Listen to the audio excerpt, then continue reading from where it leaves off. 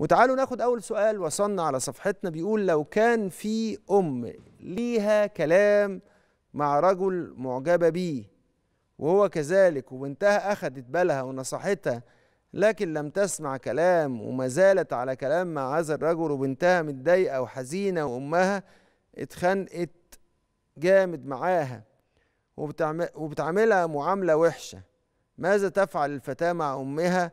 مع العلم إن والدها لا يعامل أمها بطريقة كويسة ودايما بيتخانقوا فنرجو الرد. مم. طيب. السؤال ده شائك شوية لأن إحنا بنقول بوضوح إن هذا نوع من أنواع في مسألة متداخلة. أول حاجة إن لا ده ليس من حفظ أمانة الزوجية. يعني ده الأم كده مش حافظة أمانة الزوجية.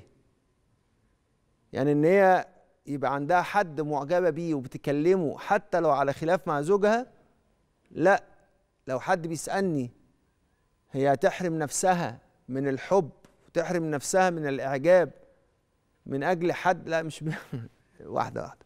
هي مش من أجل الحد ده من أجل أمانة الزواج. لما ربنا كلم الرجاله عشان يحسنوا إلى الزوجات قال لهم فإنكم استحللتم فروجهن بكلمة الله. فهي لما بتحافظ على أمانة الزوجية بتحافظ على أمانة الله.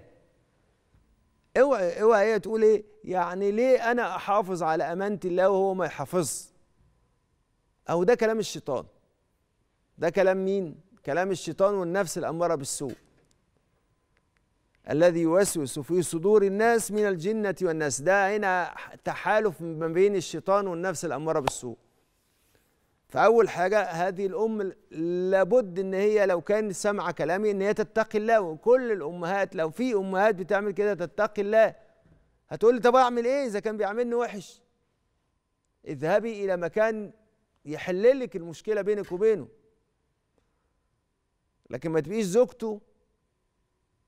وبتخونيه. يعني إيه بتخونيه؟ بتخونيه بالمصطلح بالمصطلح المجتمعي وليس بالمصطلح الذي يتعلق بأن الخيانة دي هي الزنا. الراجل مستأمنك. فأنت بتكلمي واحد ومعجبة بيه وولهانه بيه. لدرجة إن بنتك حست بده. بنتك غيرانة على أبوها. بتعلمي بنتك إيه؟ بتعلمي بنتك إن يبقى عندها راجلين؟ أو ده المعنى التاني بقى اللي بقوله لك. كلكم راع وكلكم مسؤول عن رعيته. أنت ما زلتي راعية لهذه البنت اللي هي بتسألني. يا عيني وقلبها موجوع وقلبها بيتقطع. وأنت بتضيعي بنتك.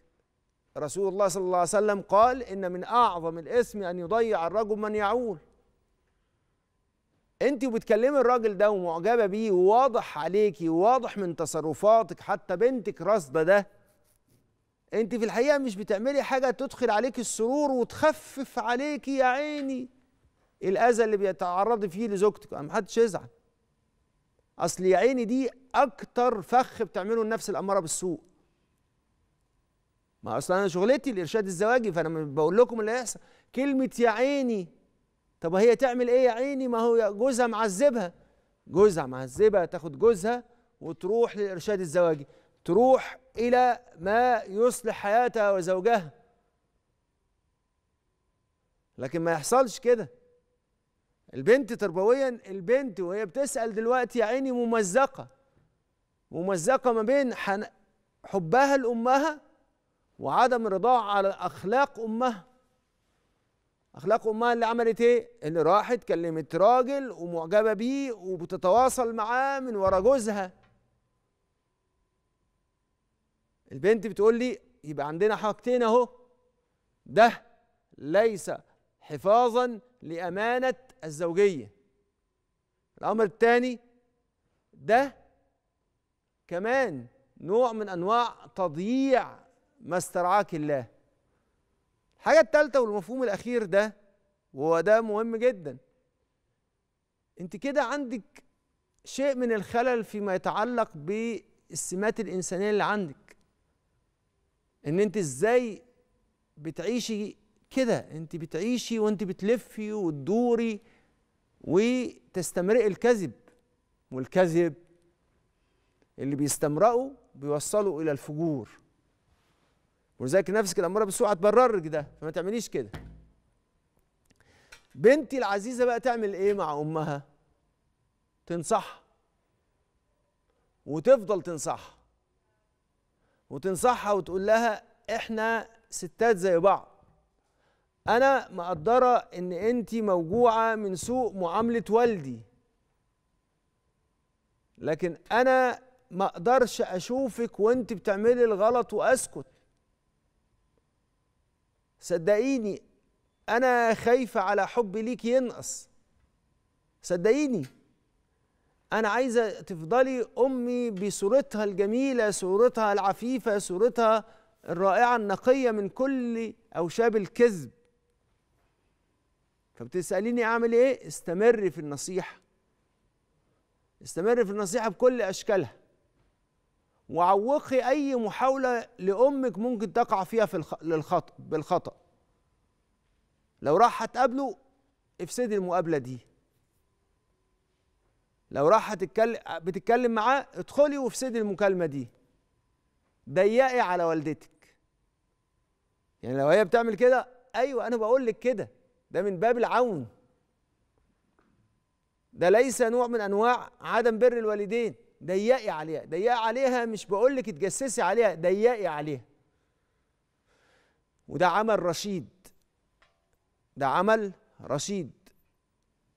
وإن شاء الله ربنا سبحانه وتعالى يعينك يا بنتي وإن شاء الله يكتب لك الخير ويكتب لك السداد ويهدي والدتك وإن شاء الله كل ده يزول ولا يبقى إلا الجمال والخير والسعة والنعمة والفضل والبركة ويملى بيتكم إن شاء الله. مودة ورحمة وسكينة ونور إن شاء الله.